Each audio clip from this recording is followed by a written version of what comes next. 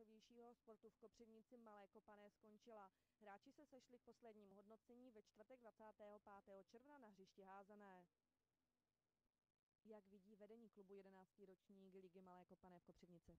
11. ročník Ligy Malé Kopané v Kopřivnici vidí velice pozitivně. Proběhl eh, celkem eh, bez vážnějších nedostatků, bez nějakých zranění, bez nějakých velkých emocí. Eh, odehrálo se ve třech ligách celkem 606 utkání. Z toho, když připočteme v poháru ligovém, který se byl už již osmi ročník, dohromady to činilo tím pádem 652 utkání.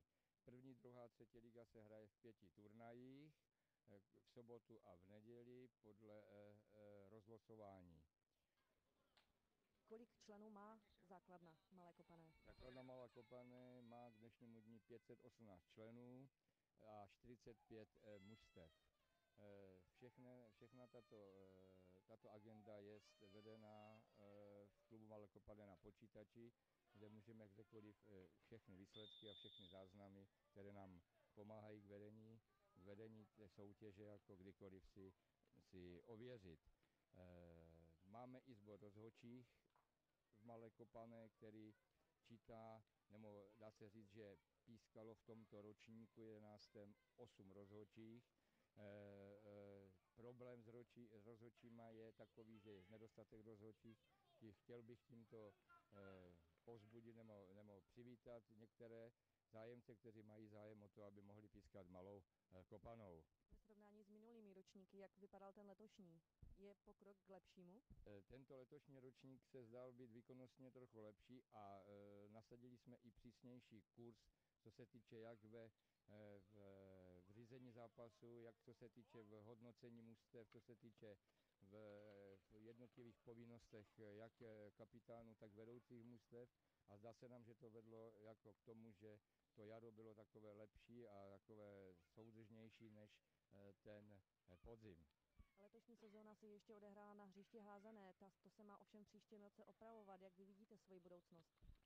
Tak eh, jak jste již řekla, má se teda opravovat tento azenkářský areál, má se tady stavět teda ta hala na, tu, na ten skvoš. No vidíme podle, podle nějakých takových eh, závěrů nebo takových předběžných úvah se říká, že tady budou dvě asfaltové hřiště, takže jestliže to takhle dopadne a budeme, budeme moci využívat areál tohoto eh, eh, stánku dále jako i šaten, tak by to pro nás dopadlo úspěšně. Horší bude to období, které, které se bude nutné překlenout, když se tady bude stavět. To znamená, že nám bude k dispozici pouze eh, na škole Emila Zátopka jako hřiště, no a další hřiště je, bude problém, ovšem eh, jsme v jednání s, s, s zprávou sportovišť, že bychom odehrávali možná některé utkání na betonové ploše, které jako na kluzišti, nebo po případě, kdyby se nějak nedalo, bylo špatné počasí, tak bychom se museli to překlenout nějak v tělocvičně.